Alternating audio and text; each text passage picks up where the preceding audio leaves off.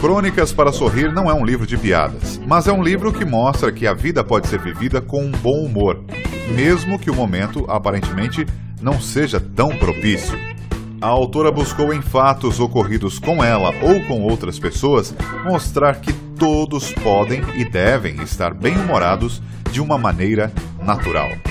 Título Crônicas para Sorrir, autor Dora Gay Jutz Machado, editora Biblioteca 24 Horas, 74 páginas, 2009.